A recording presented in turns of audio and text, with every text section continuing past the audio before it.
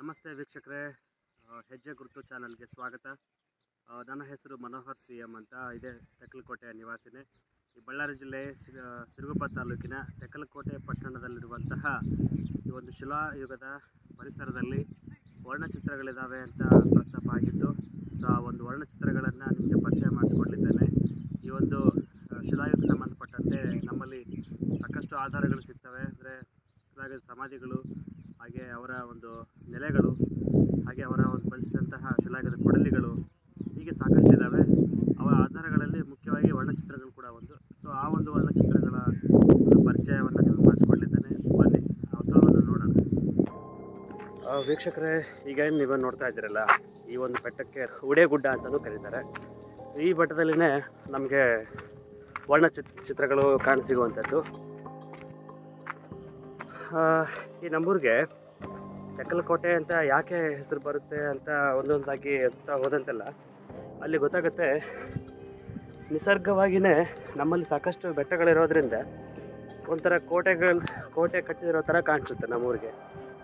So ಆ ಕಾರಣಕ್ಕೆ ಕೋಟೆ ಕೋಟೆ ನಿಸರ್ಗವಾಗಿಯೇ ನಮಗೆ ಕಾಣಿಸ್ತಿಗೋದ್ರಿಂದ ತೆಕ್ಕಲಕೋಟೆ ಅಂತ ಹೆಚ್ಚು ಗಮನಕ್ಕೆ ಬರುತ್ತೆ.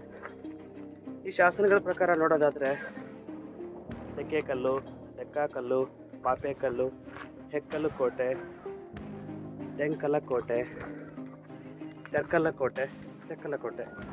ಈಗ ಸಾಕಷ್ಟು ಸ್ಥಳನಾಮಗಳು ಬರ್ತಾ ಬರ್ ಆ, ಕಾಣಿಸ್ತವೆ ಶಾಸನ ಒಳಗಡೆ ಸಿಗ್ತವೆ. ಜೊತೆ ಜೊತೆಗೆ ಅದರಲ್ಲಿ ತಿಳಿಸಿರುವಂತೆಯೇ ತೆಕ್ಕೆ ಕಲ್ಲು ಅಂತಂದರೆ ಒಂದಕ್ಕೊಂದು ಕಲ್ಲುಗಳು ಆನ್ಕೊಂಡಿದ್ದಾವೆ ಅಂತ. ಅದಕ್ಕೆ ಒಂದೆಡೆ ಇರುವಂಥ ಒಂದಕ್ಕೊಂದು ಆನ್ಕೊಂಡಿರುವಂಥ ಹಾಗೆಯೇ ಪಾಪೆಕಲ್ಲು ಅಂತ ಹೆಸರಿದೆ ಪಾಪೆಕಲ್ಲು ಅಂದರೆ ಕಣ್ಣಿನ ಗುಡ್ಡೆ. ಏನು ಕಣ್ಣಲ್ಲಿ ದುಂಡಾಗಿ ಕಾಣಿಸುತ್ತಲ್ಲ, ಅದೇ ಥರ ರೌಂಡ್ ಶೇಪಲ್ಲಿರುವಂಥ ಕಲ್ಲುಗಳು ನಮ್ಮ ಭಾಗದಲ್ಲಿ ಇದ್ದಾವೆ ಅಂತ ಇಂಡಿಕೇಟ್ ಮಾಡುತ್ತೆ ಅಂತ ಹೇಳ್ತಾರೆ. ಪಾಪೆ ಕಲ್ಲು ಅಂತ. ಈ ಪಾಪೆ ಕಲ್ಲಿಗೆ ಸಂಬಂಧಪಟ್ಟಂತೆ ಅಲ್ಲೊಂದು ಮರದ ಮುಂದ್ಗಡೆ ಒಂದು ದೊಡ್ಡ ಬಂಡೆ ಇದೆ. ಆ ಬಂಡೆ ಮೇಲೆ ಒಂದು ಶಾಸನ ಇದೆ. ಆ ಶಾಸನದಲ್ಲಿನೇ ಬರೆದಿರೋದು.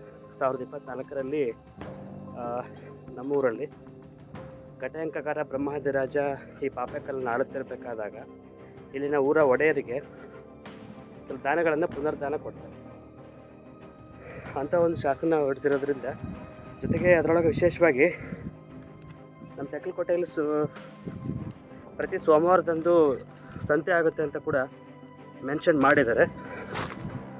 ಹಾಂ, ಸಾವಿರದ ಇಪ್ಪತ್ತ್ನಾಲ್ಕು ಇರಲಿ, ಈಗ ನಮ್ಮ ಒಂದು ನಾವು ಬರ್ತಿರೋ ಸ್ಥಳದ ವಿಶೇಷವಾಗಿ ಹೇಳೋದಾದರೆ, ಈ ಒಂದು ಸ್ಥಳವನ್ನು M S Nagarajarao, K C Malhotra, doctor Allchin, ಹಾಗೆ ಆ ಸುಂದರ್ ಸರ್ ಇವರೆಲ್ಲರೂ ಕೂಡ ಈ ಭಾಗದಲ್ಲಿ ಅಧ್ಯಯನಗಳನ್ನು ಮಾಡಿದ್ದಾರೆ. ಸಾಕಷ್ಟು ಆದಿಮಾನವರಿಗೆ ಸಂಬಂಧಪಟ್ಟಂತಹ ಪಳೆಯುಳಿಕೆಗಳನ್ನು ಹಾಗೆ ಅಸ್ತಿತ್ವದ ಅವಶೇಷಗಳನ್ನು ಪತ್ತೆ ಹಚ್ಚಿದ್ದಾರೆ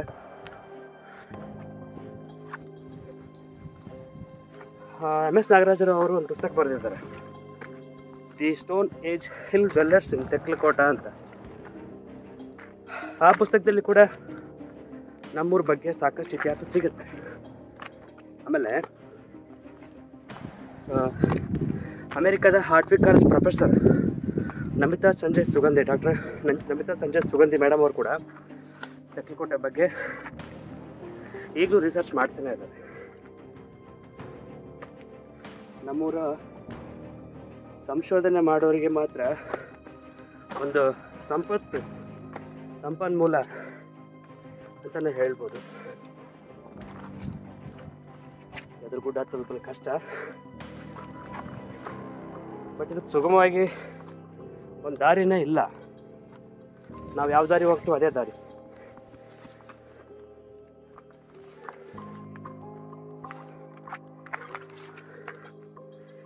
ವೀಕ್ಷಕರೇ, ನಾವೀಗ ಸ್ಥಳದಲ್ಲೇ ಇದ್ದೀವಿ. ನಿಮಗೆ ನಮ್ಮೂರು ಕಾಣಿಸ್ತಾ ಇರುತ್ತೆ. ಎಷ್ಟು ವಿಶಾಲವಾಗಿದೆ ಅಂತೇಳಿ. ಆಗಲೇ ಹೇಳಿದಂತೆ ನಮ್ಮೂರು ಸುತ್ತುವರೆದಿದೆ ಗುಡ್ಡಗಳು ಅಂತ ಹೇಳಿದೆ. ಸೊ ನೋಡ್ತಾ ಇದ್ದೀರಲ್ಲ. ನಮ್ಮೂರು ಥರ ಯು ಶೇಪಲ್ಲಿ ಎಲ್ಲ ಬರೀ ಗುಡ್ಡಗಳನ್ನೇ ಹೊಂದಿರುತ್ತೆ. ಸೊ ಈ ಗುಡ್ಡ ಉಡೆ ಗುಡ್ಡದ ಮೇಲೆ ಹತ್ತಿದ್ದೇನೆ. ನಾನು ಆಗಲೇ ತೋರಿಸಿದಂತೆ ಈ ಒಂದು ಉಡೆ ಗುಡ್ಡದ ವರ್ಣಚಿತ್ರಗಳ ಸ್ಥಳಕ್ಕೆ ಬಂದಿದ್ದಾನೆ. ನೋಡೇ ಬಿಡಿ. ವಾವ್. ಅಂತ ಅನಿಸ್ಲೇಬೇಕು, ಅಲ್ವೇ?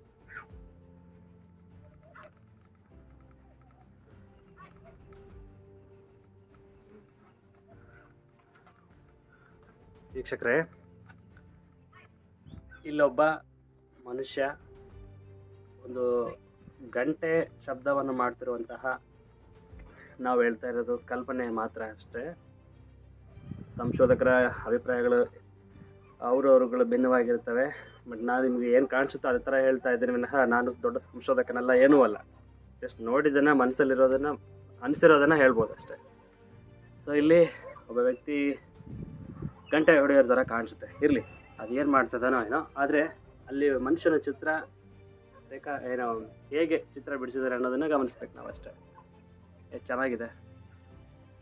ನೆಕ್ಸ್ಟ್ ಇಲ್ಲಿ ನವಿಲಿನ ಚಿತ್ರ ಇದೆ. ಈ ಭಾಗದಲ್ಲಿ ನವಿಲುಗಳು ಈಗಲೂ ಇದ್ದಾವೆ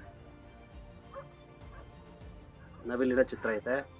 ಹಾಗೆ ಇಲ್ಲೊಬ್ಬ ಪ್ರಾಣಿಯ ಮೇಲೆ ನಿಂತ್ಕೊಂಡಿರುವಂಥ ಅಥವಾ ಸಾರಿ ಕೂತ್ಕೊಂಡಿರುವಂಥ ಚಿತ್ರವಿದೆ ವರ್ಣಚಿತ್ರ ಇದೆ ಹಾಗೆ ಇಲ್ಲಿ ಸಾರಂಗದ ಚಿತ್ರವಿದೆ.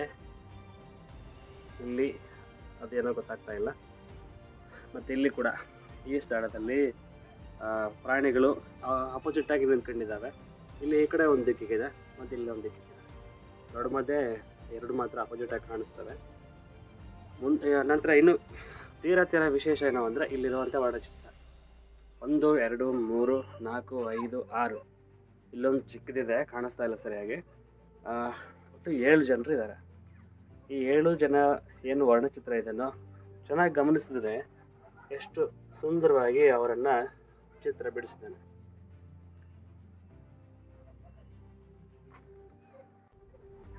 ಕೈ ಕೈ ಹಿಡ್ಕೊಂಡು ನಿಂತ್ಕೊಂಡಿರುವಂತೆ, ಸಾಲಾಗಿ ನಿಂತಿರುವಂತೆ ಈ ಒಂದು ವರ್ಣಚಿತ್ರವನ್ನು ಬಿಡಿಸಲಾಗಿದೆ. ಆಮೇಲೆ ಇದ್ರ ಬಗ್ಗೆ ಕೆಲವೊಂದಿಷ್ಟು ವಿಷಯಗಳು ಹೇಳೋದಾದರೆ ಈ ಮುಂಚೆ ಬೇಟೆಯಾಡಿ ಬೇಟೆಯನ್ನು ತಂದ ನಂತರ ಅದನ್ನು ಅಡುಗೆ ಮಾಡುವಾಗ ಎಲ್ಲರೂ ಸೇರಿ ನೃತ್ಯ ಮಾಡ್ತಾಯಿದ್ರಂತೆ ಆಮೇಲೆ ಮನ್, ಶುಭ ಸಮಾರಂಭಗಳು ಬಂದಾಗ, ಅವ್ರ ಮನೆಗಳಲ್ಲಿ ಯಾವುದಾದ್ರು ಕಾರ್ಯಕ್ರಮಗಳು ಬಂದಾಗ ಹೀಗೆ ನೃತ್ಯ ಮಾಡುವಂಥ ಹವ್ಯಾಸ ಇತ್ತು ಅಂತ ಗೊತ್ತಾಗುತ್ತೆ. ಸೊ ಅವರ ಒಂದು ಸಾಂಸ್ಕೃತಿಕ ಪ್ರದರ್ಶನಗಳ ನಿದರ್ಶನಗಳೇ ಈ ಒಂದು ವರ್ಣಚಿತ್ರಗಳು ಅಂತ ಹೇಳ್ಬೋದು. ಇಲ್ಲಿ ಕೂಡ ನವಿಲಿನ ಚಿತ್ರವಿದೆ. ಹಾಗೆ ಉಡಾದೊಂದು ಚಿತ್ರ ಇರಬೇಕು. ಇಲ್ಲೊಂದಿಷ್ಟು ಇದ್ದಾವೆ ಕೆಳಗಡೆ ಕೂಡ. ಆಮೇಲೆ ಈ ಪೇಂಟಿಂಗ್ಸ್ನ ಯಾಕೆ ಬಿಡಿಸ್ತಾ ಇದ್ದ ಅಂತ ಕೇಳಿದಾಗ ಹಲವಾರು ಅಭಿಪ್ರಾಯಗಳಿರ್ತವೆ ಬಟ್ ಅವುಗಳಲ್ಲಿ ಹೇಳೋದಾದರೆ, ಆಗಿನ ಮಾನವರು ತಾವುಗಳು ಬೇಟೆ ಆಡಕ್ಕೆ ಹೋದಾಗ ಅಥವಾ ತಾವುಗಳು ವಾಸ ಮಾಡಬೇಕಾದಾಗ ಅಥವಾ ಹೊರಗಡೆ ಹೋದಾಗ ತಮಗೆ ಯಾವ ಪ್ರಾಣಿಗಳು ಕಾಣಿಸ್ತವೋ ಅಥವಾ ಪಕ್ಷಿಗಳು ಕಾಣಿಸ್ತವೋ ಅವುಗಳನ್ನು ದಾಖಲು ಮಾಡುವಂಥ ಕೆಲಸ ನಡೀತಾ ಇತ್ತು. ಈಗ ಅಲ್ಲಿ ಹುಲಿ ನೋಡಿದಾನೆ ಅಂತಂದರೆ ಆ ಹುಲಿ ಚಿತ್ರವನ್ನು ತಾನು ಬಿಡಿಸುವಂಥದ್ದು ಹೀಗೆ ತಾನು ಕಂಡದ್ದನ್ನು ನಾವು ನಾವೀಗ ಹೇಗೆ ಯಾವುದಾದ್ರೂ ಪ್ಲೇಸ್ಗೆ ಹೋದಾಗ ನಾವು ಫೋನಲ್ಲಿ ಹೆಂಗೆ ಕ್ಯಾಪ್ಚರ್ ಮಾಡ್ತೀವೋ ಅದೇ ಥರ ಅವರು ತಾವೇನು ನೋಡಿರ್ತಾರೋ ಅದನ್ನು ಅವರು ನೆನಪಲ್ಲಿ ಇಟ್ಕೊಂಡು ಬಂದು ಹೀಗೆ ಪೇಂಟಿಂಗ್ಸ್ ಬಿಡಿಸ್ತಾ ಇದ್ರು. ಅವ್ರು ಪೇಂಟಿಂಗ್ಸ್ ಬಿಡಿಸ್ತಿರೋದ್ರಿಂದಲೇ ನಮಗೆ ಗೊತ್ತಾಗುತ್ತೆ, ಈಗ ಅಲ್ಲಿ ನವಿಲಿತ್ತು ಆಗಿನ ಕಾಲದಲ್ಲಿ ನಮ್ಮೂರಾಗೆ ಹುಲಿ ಇತ್ತು, ಆನೆ ಇತ್ತು ಅಂತ ಗೊತ್ತಾಗುತ್ತೆ.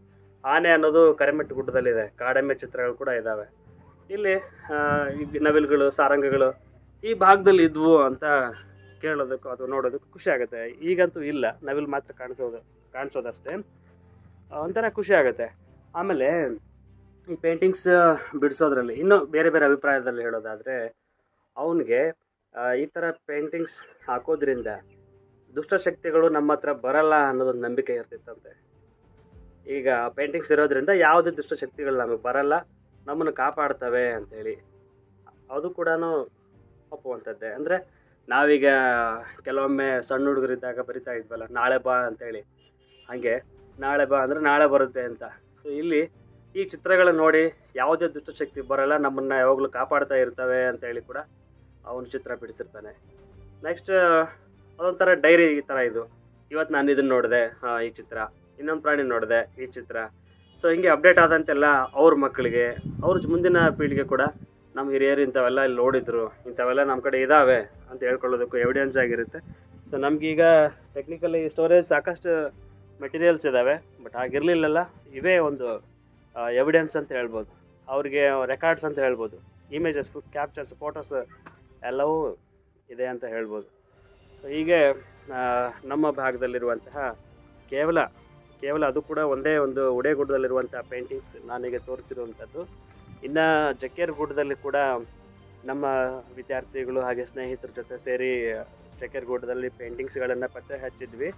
ಸೊ ಆ ಸ್ಥಳದ ಬಗ್ಗೆ ಕೂಡ ಮುಂದಿನ ವಿಡಿಯೋದಲ್ಲಿ ನಿಮಗೆ ತೋರಿಸ್ಕೊಡ್ತಾನೆ ಆ ಪ್ಲೇಸ್ ಬಗ್ಗೆ.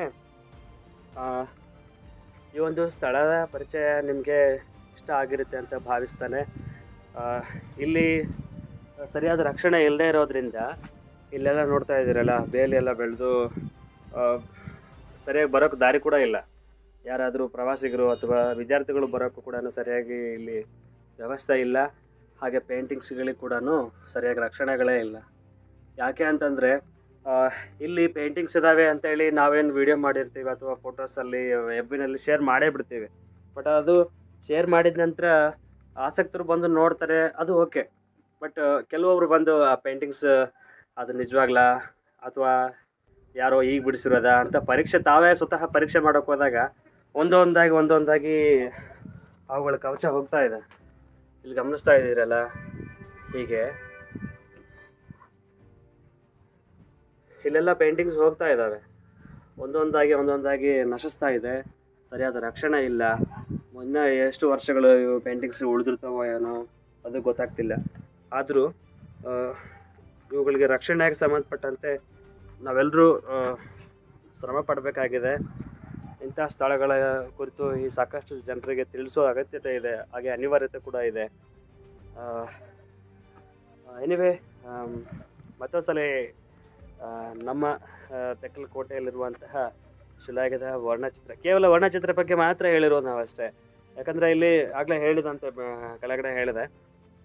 ಇಲ್ಲಿ ಸಮಾಧಿಗಳು ಇರುವಂಥ ಸ್ಥಳಗಳಿದ್ದಾವೆ ಅವ್ರು ವಾಸ ಮಾಡಿರುವಂಥ ಅವಶೇಷಗಳು ಅಥವಾ ನೆಲೆಗಳು ಪ್ಲೇಸ್ ಕೂಡ ಇದೆ, ಸ್ಥಳ ಇದೆ. ಹಾಗೆ ಅವ್ರು ಬಳಸಿದಂಥ ಕಲ್ಲಿನ ಕೊಡಲಿಗಳು ಇದ್ದಾವೆ ಸಾಕಷ್ಟು ಇದ್ದಾವೆ ನಮ್ಮ ತೆಕ್ಕಲಕೋಟೆ ಅನ್ನೋದು ಕೇವಲ ಒಂದನ್ನೇ ನಾವು ಹಿಡಿದು ಈ ಥರ ನಮ್ಮೂರಲ್ಲಿ ಕೋಟೆ ಇರೋದ್ರಿಂದ ಈ ಊರಿಗೆ ಕೋಟೆ ಅಂತ ಹೆಸರು ಬಂತು ಅಥವಾ ಇದೇ ಒಂದು ವಿಶೇಷನೇ ಈ ಊರಲ್ಲಿ ಅಂತ ಹೇಳುವಂಥದ್ದು ಏನಿಲ್ಲ ನಮ್ಮ ಕಡೆ ಈ ಸುತ್ತಮುತ್ತಲೂ ಕೂಡ ಎಲ್ಲಿ ಇಲ್ಲದೆ ಇರುವಂಥ ಪ್ರಮುಖವಾದಂಥ ಐತಿಹಾಸಿಕ ಸ್ಥಳಗಳಿದ್ದಾವೆ ಸಾಕಷ್ಟು ಸುಮಾರು ಹನ್ ಎಂಟಕ್ಕೂ ಮೀರಿ ಶಾಸನಗಳಿದ್ದಾವೆ ಹಾಗೆ ಆ ಗುಡ್ಡದಲ್ಲಿ ಲಾಸ್ಟ್ ಒಂದು ಕಾಣಿಸುತ್ತೆ ವರಣಮಲ್ಲೇಶ್ವರ ಟೆಂಪಲ್ ಅಂತ. ಆ ಟೆಂಪಲ್ನೂ ಇದೆ. ಸಾಕಷ್ಟಿದೆ.